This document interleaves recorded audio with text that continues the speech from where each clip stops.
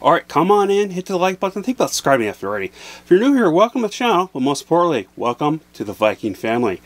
So, this is my personal opinion slash review for the 2023 Swedish Netflix horror comedy film called The Conference. Now here's the plot.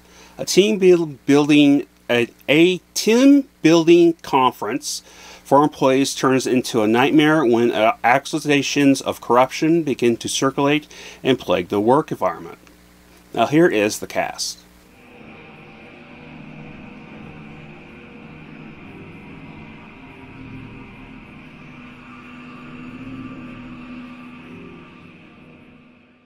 Everything about this film pretty much reads like a Blumhouse film. If they were produced, if they produced it. Uh, campy, corny characters, corny dialogue, and over-the-top gore. Stuff you definitely expect if you've seen a lot of Blumhouse films. They're kind of kind of corny type of comedy type of knockoffs that are low budget made, but then they have that type of high quality look to them. Now, when it came to the characters, most were likable except for Lena, and I think that's her name. Uh, but the unlikable characters are the boss, the team leader, and the team leader's best friend, who was such a tool that he was trying way too hard to be cool and fit in that he was so unlikable. And honestly, him and the team leader definitely have punchable faces, and definitely really, really wanted to punch them at certain times, especially towards a certain part. Now, when it comes to side throwaway characters, the four resort characters' actions of them figuring out stuff to uh, amount of realistic time in between kills despite it not being that big of an area that they were on. And again, there was only four of them, even some questionable actions from the main characters made me go, wow. I love the look of the, the killer. Makes me think, what if Jason Voorhees and the big boy restaurant mascot had a child.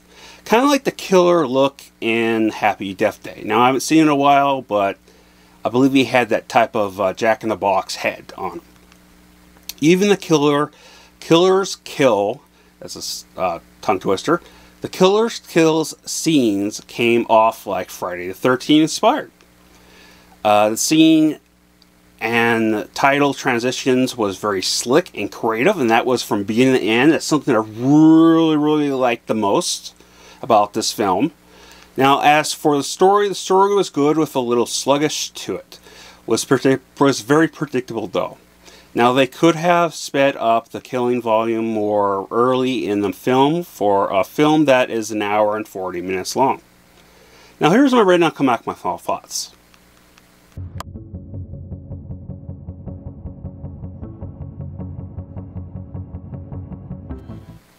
So for me, the character's writing and acting was what took away from the film and not in a good way. Outside of the actress that played Linda, and again, I don't remember if that's the her character's name. Um, she did a good job though, and she's the only character with normal and good writing. And I'm not necessarily surprised as soon as I looked at what else she's been in because she looks familiar, her face, not her hair. Uh, and that's because she has her hair in the back, uh, pulled back in a, a, ponytail, and most of the time that when she was the Russian boss and the mob boss and the boys. I believe that's what I saw, and I will correct myself if not, but I believe that's pretty much her. And she had an accent in that, so that's why I'm not surprised, because she was really good at her Russian accent. Definitely a fun film with a couple of scenes I liked a lot. Some that was past my comfort zone with the gore, unfortunately, but I'm definitely mixed on how I feel about it at the moment. But what are your guys' thoughts? There are a lot of stuff about this I liked. There were a lot of stuff that I definitely hated. Um, a good equal amount, and then there's a couple gore spots, which can go either way depending on how you interpret it.